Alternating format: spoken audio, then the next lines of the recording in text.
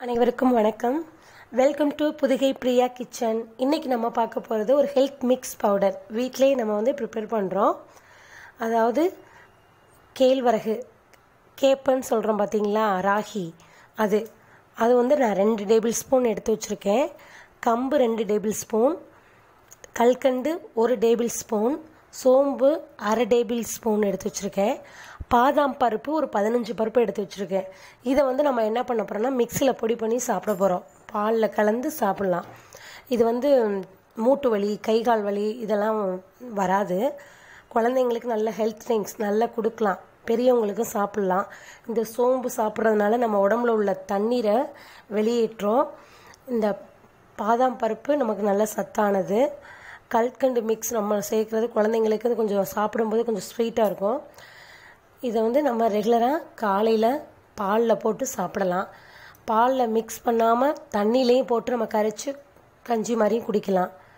பார்க்கலாம் இப்போ எப்படி பண்ணலான்னு பார்க்கலாம் பாருங்கள் இதை வந்து நம் கழுவி நான் ஒரு ரெண்டு மணி நேரம் கேப்பையும் கம்பையும் ரெண்டு மணி நேரம் நான் தண்ணியில் நனைய போட்டு தண்ணியிலேருந்து வடிச்சிட்டு அதுக்கப்புறம் நான் வறுத்தேன்.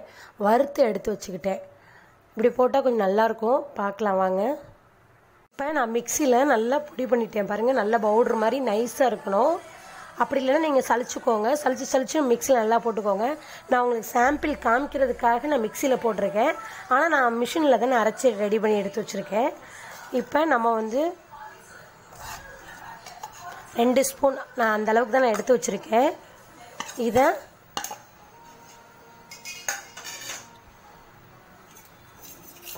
தண்ணி விட்டு மிக்ஸ் பண்ணிக்கலாம். இது டைரெக்டாக நம்ம வந்து பால் ஹீட் ஆகுது ஆல்ரெடி அதில் வந்து நம்ம அப்படி டைரெக்டாக அதில் போடக்கூடாது. எப்போவுமே இல்லை தண்ணியில் மிக்ஸ் பண்ணி தான் நம்ம வந்து அதில் நல்லா வேக வைக்கணும்.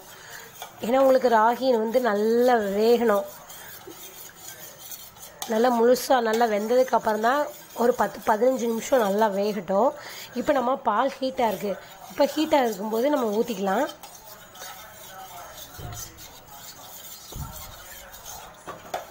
அதாவது நான் இந்த ஒரு டம்ளர் பால் எடுத்து நான் ஊற்றிருக்கேன் இந்த ஒரு டம்ளருக்கு நான் ரெண்டு ஸ்பூன் போட்டிருக்கேன். உங்கள் வீட்டில் உள்ள நபர்களை பொறுத்து நீங்கள் போட்டுக்கோங்க.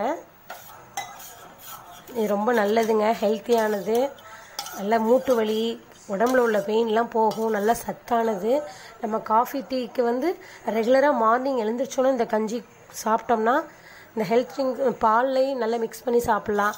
இல்லை தண்ணிலையும் கலந்து நம்ம கஞ்சி மாதிரியும் குடிக்கலாம். இப்போ இதை ஊற்றுறேன் பாருங்கள் இதில் கட்டிப்படாமல் கிளறணுங்க.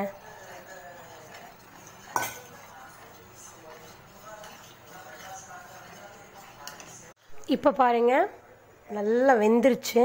இப்போ அடுப்பு ஆஃப் பண்ணிடுறோம். இதை வந்து வடிகட்டெல்லாம் வேண்டாம். இது அப்படியே ஆடையெல்லாம் விழுகாது. இதை பாருங்கள் எதுவுமே பிடிக்கலை.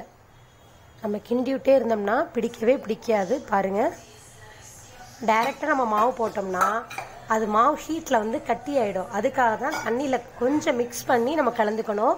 இது ரொம்ப லிக்விடாக குடித்தாதான் நல்லது. இப்போ நீங்கள் வந்து நாட்டு சக்கரை சேர்த்தாலும் சரி நான் வந்து ஒயிட் சுகர் தான் சேர்க்குறேன். ரெண்டு ஸ்பூன் சேர்க்குறேன்.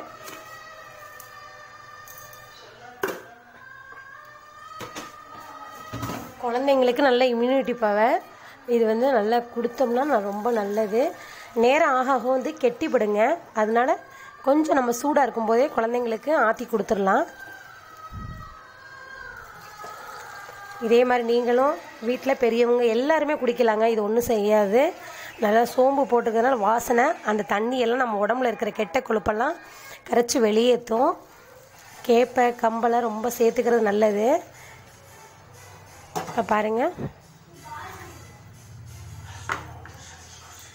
நீங்களும் இது போல செஞ்சு கொடுங்க குழந்தைங்களுக்கு. நல்லா ஹெல்த்தியாக இருக்கணும்.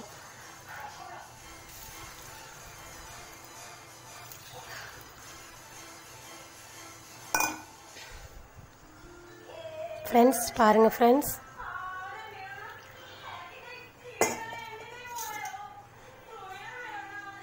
பாருங்கள் இந்த வீடியோ பார்த்திங் இதே மாதிரி நீங்களும் குழந்தைங்களுக்கு பெரியவங்களுக்கு போட்டு கொடுங்க. மார்னிங் இல்லை நைட்டு நம்ம சாப்பிடலாம். எப்போ வேணாலும் சாப்பிடலாம். இது வந்து காஃபி டீ வந்து ரெண்டு டைம் எடுத்துக்கிட்டோம்னா நம்ம இதில் காலையில் வெறும் வயிற்றில் சாப்பிட்றது ரொம்ப நல்லது. பாருங்கள் குழந்தைங்களுக்கு செஞ்சு கொடுங்க பெரியவங்களுக்கு செஞ்சு கொடுங்க. இந்த சே என்னுடைய சேனலை சப்ஸ்கிரைப் பண்ணுங்கள் லைக் பண்ணுங்கள் ஷேர் பண்ணுங்கள் நன்றி ஃப்ரெண்ட்ஸ்